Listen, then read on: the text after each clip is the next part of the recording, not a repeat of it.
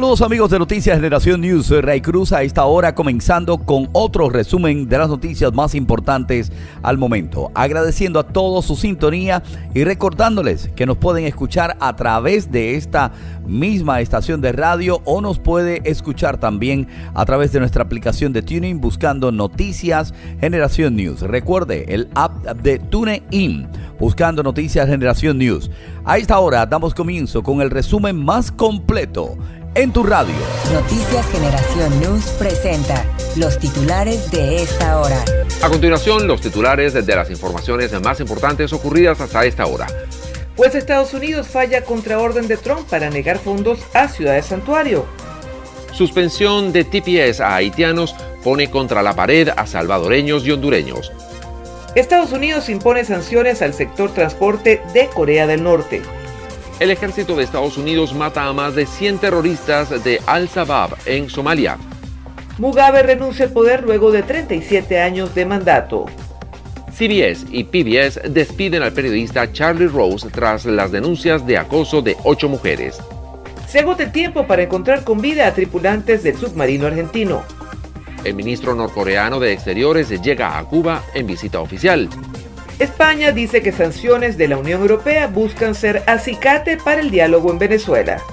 Empresa suspende trabajos para levantar red eléctrica de Puerto Rico y gobierno dice que sí les pagó. Sube el volumen. Ahora presentamos la noticia del momento. Noticias Generación News. Un grupo de hackers robó los datos personales de 57 millones de clientes y conductores de Uber, una filtración masiva que la empresa ocultó durante más de un año. Entre esos 57 millones de usuarios figuran 600 mil choferes cuyos nombres y números de permisos de conducir fueron pirateados. Los nombres de los usuarios, así como sus correos electrónicos y números de celulares, fueron robados, informó Dara Roscree del CEO de Uber en un comunicado. Joe Sullivan, hasta hace unas horas máximo responsable de seguridad de Uber es el primer damnificado del escándalo. El directivo fue despedido no solo por el error, sino por haber mantenido oculto un fallo tan grave durante un año. En el momento en que se realizó el ataque en septiembre del 2016, Uber estaba negociando con las autoridades de Estados Unidos cuestiones relacionadas con la privacidad de sus pasajeros. Los hackers recibieron 100 mil dólares por borrar los datos robados y no hacer público el escándalo. Nada de esto debería haber sucedido y no voy a poner excusas para ello, dijo en un comunicado Kowalski, que asumió como CEO en septiembre pasado. Estamos cambiando la forma en que hacemos negocios. Grupos de hackers se han infiltrado con éxito en numerosas empresas en los últimos años. La filtración de Uber, si bien fue grande, no superó las de Yahoo, MySpace, Target Corp, Anthem Inc. y Equifax, entre más que han venido en los últimos años.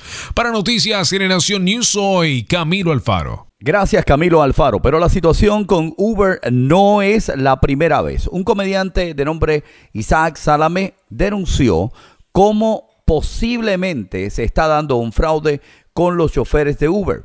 Él denunció que una persona lo llamó a su teléfono para decirle que lo iba a buscar, pero esta vez en otro auto.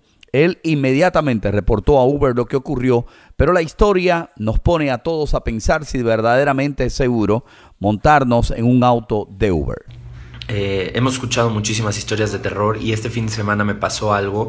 Pido un Uber, eh, todo bien en la aplicación, me designan un coche, chofer, placas, todo. Me dice que está a cinco minutos. Inmediatamente después suena mi teléfono. Contesto y me dicen, señor Isaac, sí. ¿Usted pidió el Uber? Sí, ah, soy su chofer de Uber, ya voy para allá. Le digo, ok, aquí te espero. Me dice, nada más para avisarle que voy en otro coche porque hubo un error, entonces traigo otro coche. Es un no sé qué este evento o TIDA, que son los únicos dos que usan. Eh, le digo, no, no, como otro coche. Me dice, sí, es que traigo otro coche, pero ya estoy ahí por usted. Le digo, no, cancela, no quiero otro coche, vaya. Y llegando a la oficina y platicando lo que lo que me pasó, ya empecé a escuchar que sí, que hay mil casos de, de este tipo. Entonces, pues Uber no es el que está mal. Ningún chofer de Uber que haya pasado todos los filtros y toda la onda se va a poner a hacer este tipo de marranadas. Pero pues nosotros tenemos que cuidarnos. Entonces, si pides un Uber o un Cabify o lo que sea, comprueba que sea el chofer, que sea la foto, que sea el etcétera, etcétera, etcétera. Porque hay alguien o una banda están hackeando la información de Uber. Noticias Generación lo que pasa a tu alrededor. Noticias Generación News. A continuación, las informaciones más importantes ocurridas en los Estados Unidos en las últimas horas. Juez de Estados Unidos falla contra orden de Trump para negar fondos a ciudades santuario. Un juez federal estadounidense bloqueó este lunes de forma permanente la orden proclamada por el presidente Donald Trump para negar fondos a las llamadas ciudades santuario, aquellas que se niegan a colaborar con las autoridades migratorias para deportar a indocumentados. El magistrado William Orrick con tribunal en San Francisco, California, había bloqueado temporalmente la orden en abril y ahora lo hizo permanentemente argumentando que es inconstitucional. Orrick, que se pronunció ante las demandas presentadas por el condado de Santa Clara y la ciudad de San Francisco, dijo que Trump no puede imponer nuevas condiciones a unos fondos previamente aprobados por el Congreso de Estados Unidos. En un comunicado, el Departamento de Justicia de Estados Unidos expresó que Orrick se excedió en su autoridad al bloquear la orden de Trump. El Departamento de Justicia, de hecho, ya apeló la decisión de abril de Orrick ante el Tribunal de Apelaciones del Noveno Circuito, que también tiene su sede en San Francisco y es la instancia inmediatamente inferior al Tribunal Supremo. Suspensión del TPS haitianos pone contra la pared a salvadoreños y hondureños. Tras la decisión de la Casa Blanca de poner fin este lunes al Estatuto de Protección Temporal TPS a los haitianos, la preocupación cunde ahora entre salvadoreños y hondureños ante el temor de correr con la misma suerte en los próximos meses. A pesar de la decisión de anoche, debemos seguir insistiendo en que lo sensato, lo conveniente y lo más consistente que podría hacer esta administración es mantener las protecciones que se han otorgado, enfatizó en entrevista a la agencia EFE Oscar Chacón, director ejecutivo de la organización Alianza América. Según datos del gobierno de los Estados Unidos de finales del año 2016, existen 86.000 hondureños y 263.000 salvadoreños amparados con un permiso temporal de residencia que podrían perder en el primer semestre del año 2018 si el Congreso no emprende una acción legal como recurso único. El activista considera que además es importante redoblar esfuerzos frente al Congreso para que resuelva algo que han permitido por tanto tiempo sin una solución sensata.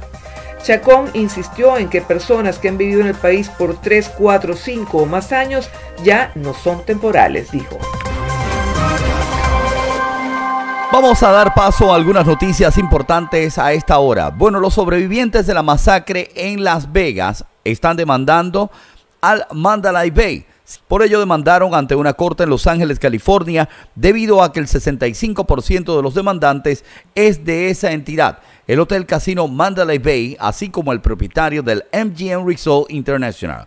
Al menos de estas 15 demandas ya fueron interpuestas por 15 personas que buscan una compensación financiera, aunque los dígitos podrían prolongarse años. La base de las demandas es que los operadores incumplieron en su deber de cuidado razonable al fallar un ubicar o en ubicar al tirador quien acumuló varias armas en la habitación que rentó en el piso 32, según informó la agencia de noticias Notimex. Aunado a ello, se acusa que no hubo una respuesta inmediata a la alerta desatada por el guardia Jesús Campo para impedir la masacre que dejó sin vida a 59 personas y más de 500 heridos. Mi instinto me dice que querían controlar el entorno y controlar el mensaje antes de que el público y los medios estuvieran involucrados, aseveró Chad Pickerton, un abogado de Houston. Ciertamente no sabían que iban a tener un acto como este, pero podrían haberse anticipado, podrían haberlo previsto.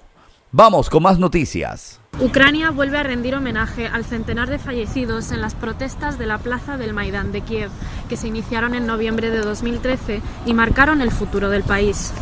Cientos de personas se congregaron en el centro de la capital ucraniana para conmemorar el cuarto aniversario de la revuelta popular conocida como Euromaidán que empezó con protestas a favor de la integración europea y desembocó en graves enfrentamientos entre la policía y manifestantes.